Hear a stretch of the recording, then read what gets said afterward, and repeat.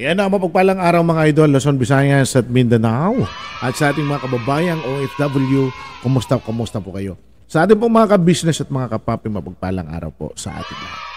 Baino ako po si Taong Gala sa araw na ito mga idol, isang panibagong reaction video na naman ang ating gagawin. Pero kung bago ka lang sa aking tahanan, pinutin mo sana ang subscribe button para kay Mr. Ka-Business, para kay uh, uh, Papa Dins, and of course, Ka-Business family. Bueno, ito po mga idol, ano po. Uh, bigyan po natin ng reaksyon itong uh, nangyayari ngayon kay Jonathan. Actually, nung pong nag-react ako sa una, napansin ko lang ano, ang daming mga mga bumatikos din sa akin kasi una, hindi nila talaga naintindihan at naunawaan kung ano po yung punto de vista ko. This time mga idol, sana tapusin ninyo ang video upang sa ganun ay malaman ninyo kung ano po ang uh, punto de vista ko bilang reactors ano? Dito po mga idol ay uh, opinion ko po ang aking ibibigay. It is because nai-involve po ang pangalan ni Jonathan. Ito po yung kaso ni Jonathan na kinasangkutan ngayon o yung pong problema ngayon na sina pinasok ni Jonathan between Jonathan and Inday Okray. So Nung pong napa, nanonood ako sa mga live ano po sa live ni Inday, nung pong ng mga live na at uh, mga uh, reaction po ng ating mga kasamang reactors, si Anime, si Mamplers, ay uh, nalaman ko po yung kanilang sentimento. Ano po. And then, nakapagtataka po rito kasi marami pa rin po yung mga nagtatanggol kay Jonathan. Well, dahil nga po, nakuha niya yung simpatsya ng tao. So, this time, sa, sa, sa senaryong ito ngayon, mga idol na, na kinakaharap ngayon ni Jonathan, ang masasabi ko lang ay eh, talagang hindi naman po dapat na itolerate natin ang pagkakamali. Ano nga po ba itong problemang ito? Ito po yung pagmumura, uh, talagang pambabalahura ni Jonathan kay Inday Ukray. Sabi ng iilan doon sa doon sa komento, eh kasi si Inday po ang uh, nag-ano naman eh. Si Inday naman po ang nauna, ano po. Pero nung pinanood ko yung sinabi niya, ito po ay tungkol sa sinabing ay si Jonathan daw ay dapat naliligo kasi kung hindi po naliligo ang isang tao, yung pong kanyang private part, private part ay mamamaho, ano, mangangamoy. So, para sa akin, ito to naman po yun. Talagang yun ang realidad eh. Marahil, uh, ang sa akin lang, concerned lang si Inday kay Jonathan, it is because reactor siya ni ka-business. Ang pagkakamali lang kasi negative po yung receive ni Jonathan doon sa sa message na yon. At uh, mayroon po talagang uh, nakita natin sa comment section ano po na talagang kumbaga nasisilaban yung damdamin ni Jonathan. Rason kung bakit lumabas ngayon yung kanyang reaksyon. Ang pagkakaiba lang ngayon kasi yung reaksyon ni Jonathan is talagang below the belt. Yung pong reaksyon ni Jonathan ay talagang kahit saan pong anggulo na yan ay masasabi natin libelous yan. Kasi sobrang personal na po dyan. Sobrang personal eh. Kasi ka, kalain mo kumbaga, binalatan niya si Inday mula sa ulo hanggang sa talampakan yung mabirada niya. Okay. Nung binabasa ko yung mga comment doon sa ano ni Jonathan, sabi nila, eh hindi kasi pinatulan eh. Pinatulan daw si Jonathan, kisyo ganito si Jonathan. Okay, given. Kung may kahinaan si Jonathan, So ibig bang sabihin dapat i-tolerate yung kanyang mali? Dapat hindi siya hindi siya pagsabihan. Ako para sa akin, dahil nga po nasa ka-business siya. So kailangan pagsabihan siya kung ano ang nararapat, kung ano ang tama. Kasi para naman po yan sa kanya.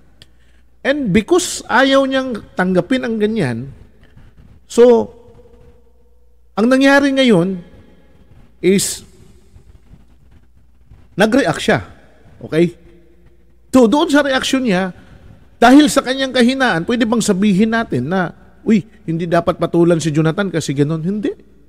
Ako para sa akin, nung narinig ko yung sinabi ni Inday na magkakaso siya. So, ano yun? Uh, privilege yan ni Inday. Kanya yan eh, karapatan niya yan eh. Why? Kasi sabi nga po sa batas, ignorance of the law excuses no one. Hindi pwedeng sabihin natin na, uy, tika kasi hindi ko alam. Uy, tika kasi ganito ako. Hindi pwedeng, uh, hindi ako pwedeng kasuhan sa ganun bagay. Kasi ang ititimba ngayon ng tao, yung bigat ng mga paratang na sinabi. So dito, kung titimbangin natin, talagang mabigat ang sinabi ni Jonathan. Now, sabi ng ilan, eh bakit mo papatulan si Jonathan? Ikaw naman ang nauna. Mas mabigat nga po yung sinabi ni Jonathan. Yung sinabi po ni Inday, para kay Jonathan, is part lang po yan ng concern niya kay Jonathan. It is because nasa ka-business siya. Kaya nga lang, siyempre, eh ganun si Inday. Yan, yan po yung kanyang pagde-deliver. Di po ba? Hindi naman po naunawaan ni Jonathan, binira siya ng ganito. So, ang mangyayari dito, naninilikado si Jonathan. Okay, ang sumunod na senaryo mga idol, kinabukasan, pumunta siya sa kay Power Ranger. So, pinayuhan siya ni Power Ranger. Good, tama ang sinabi ni Power Ranger. Pinayuhan siya doon. Okay, maganda yon Maganda yung sinabi ni Power Ranger. Ibig sabihin, hindi kinokonsente ni Power Ranger yung mali. At dito, humingi nga po ng sorry at pasensya si Jonathan. Okay. So dahil ba sa humingi ng pasensya si Jonathan, ay pwede na bang hindi na ituloy ni Inday Ukray ang kanyang kaso kung sakali man? Hindi. Ang bola ngayon ay nasa kay Inday. Wala na po talagang ano yun. Uh, kumbaga wala na po kay Jonathan. So si Inday na lang ngayon ang uh, magdidesisyon kung itutuloy niya o hindi. Kahit na sabihin na uh, niretract ni Jonathan yung kanyang statement, uh, humingi siya ng public apology. Wala pong visa yan kasi si Inday na po ngayon ang may hawak ng bola. It's either tutuluyan siya or papatawarin. Okay. Sa ng akin, lahat tayo ay nagnanais na baguhin si Jonathan. Paano natin babaguhin ang isang Jonathan kung hindi natin ipapaintindi ang kanyang pagkakamali? At kung hindi natin ipapaintindi kung ano nga ba talaga ang kanyang mga kahinaan. Kasi dito tayo nagkakaproblema eh. Yung vlog ko nga ho, inatake ako eh. Noong panahon na nabanggit ko lang si Jonathan, madami pong mga defensive uh, comments agad na talagang nagmamahal sa kanya. Well, nakita ko, tama, mahal nyo si Jonathan. Eh, mahal din po natin eh. Pare-parehas tayo nagmamahal. Kaya nga lang, ang pagkakaiba lang dito, hindi natin pwedeng hayaan na ang pagkakamali ni Jonathan ay hindi natin itama. Sa papanong paraan, dapat ipaintindi siya na talagang mayroon siyang pagkakamali. Okay. Sabi ng ilan. Eh kasi nga po eh, mahal na mahal ni Jonathan yung nanay niya. Sobra, believe kami kasi mahal na yung mahal, mahal na mahal ni Jonathan yung nanay niya. Okay, yun po yung nakikita natin. Pero palalimin po natin. Totoo nga bang mahal ni Jonathan ang kanyang nanay o hindi kaya? Hindi kaya. Ginagamit lang siya Ginagamit lang si Nanay Marita para sa sariling kapakanan ni Jonathan para makuha niya yung kanyang gusto. Bakit ko nasabi? Hindi ho ba, nung nasa institusyon na sila at nakapila, na yun na sana yung first base para mapunta na sila doon at pangalagaan ng institusyon, di ba umalis sila? Si Jonathan umalis sila. Why? Kasi ayaw daw, sabi ni Jonathan, ganito, ganyan. So kung siya mahal niya si nanay niya, dapat Mag-stay sila doon kasi hindi naman maglalakad yan eh. Siya din ang nagtulak. Ang aking pong realisasyon dan, na, na ano si Jonathan, na-realize niya na kung nandoon na sila, hindi na po siya mabibigyan ng, ng, ng, ng tulong para magkapera siya. Ako sorry, hanggang ito kasi ang pananaw ko sa kanya eh. Hindi natin pwedeng baguhin si Jonathan hanggat hindi natin itinatama ang talagang tama. Oo, oh, alam ko, mahal natin si Jonathan. Nagmamahal na, lahat sa comment section minamahal. Ito, maraming aatake sigurado sa akin ito. Sasabihin nila, sobra ka naman. Sobra ka na taong gala magsalita. Kasi hanggat hindi natin ipinapaintindi at ipinapaunawa kay Jonathan kung ano ang tama, mananatili siyang nakasandal at nakadepensa sa mga taong magbibigay sa kanya. Which is mali yun. Dapat kailangan, kailangan kay Jonathan, ipaunawa sa kanya na ito ang dapat mong gawin kasi ito ang makakapagpabago sa inyo. Ngayon, na-realize ni Jonathan, wala siyang pera. Di po ba? Sabi ni Jonathan, oh, wala, wala, wala naman pera. Ako, babalik ako kay ka-business. Tingnan natin kung ano po yung senaryo kasi hindi naman po uh, tayo ang magiging magdedesisyon diyan, si ka-business po ang magdedesisyon. Anamin natin kung ano ang mangyayari. Pero sana naman kung bumalik man siya, baguhin na niya ang kanyang estilo. Baguhin ang kanyang estilo.